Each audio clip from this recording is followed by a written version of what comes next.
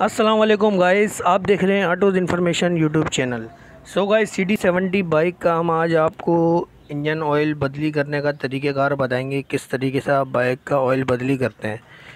So guys सबसे पहले engine के नीचे जो है सत्रह का नट होता है ऑयल वाला.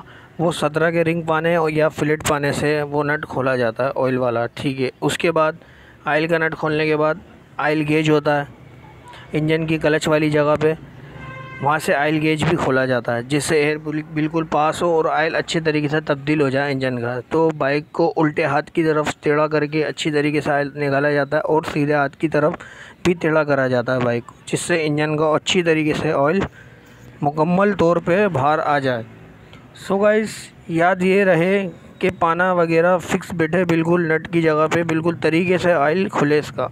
और ऑयल का नट बिल्कुल अच्छे तरीके से चूड़ियाँ वगैरह साफ़ करके ही फ़िट करा जाता। सो so गाइज़ ये सत्रह का ऑयल का नट है। हम इसको जो है वापसी इसके अंदर इंस्टॉल कर रहे हैं, लगा रहे हैं नट और ये सत्रह के पाने से ही इसको फ़िट करा जाता है रिंग पाने से। रिंग पाना हो या फ्लेट पाना हो, सत्रह का अच्छी तरीके से इसको फ़िट करा जाता। सो गाइज़ ये हम ऑयल का नट इसके अंदर जो है लगा रहे हैं बाइक के अंदर। तो हम आपको अच्छी तरीके से एक दफ़ा और ऑयल तरीके से निकाल के इसका देख लेते हैं। थोड़ा बहुत रह गया होता है, वो निकाल लेते हैं। हम ये सत्रह का नट इसके अंदर हम फिट कर रहे हैं।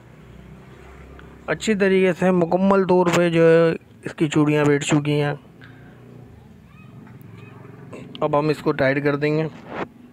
रिंग बाने से बिल्कुल प्यार से मोहब्बत से इसको टाइट करना अच्छी तरीके से। ये बिल्कुल फिक्स टाइट हो जाएगा नट।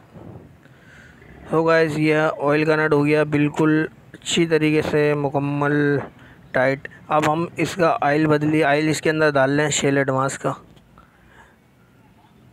ये इंजन के अंदर ऑयल जा रहा है। ये पूरा मुकम्मल तौर पे हमने इसमें ऑयल वगैरह डाल दिया शेल एडवांस ऑयल चली गया। उसके बाद हमने इसमें लगाना है इसको ऑयल गेज वापसी।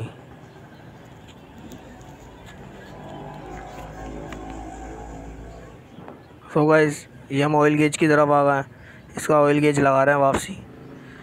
सो गाइस आटोज़ इन्फॉर्मेशन अपना यूट्यूब चैनल है। आप उसको सब्सक्राइब करें लाइक करें शेयर करें और बेल आइकन दबाना ना भूलें। ओके अल्लाह हाफिज़।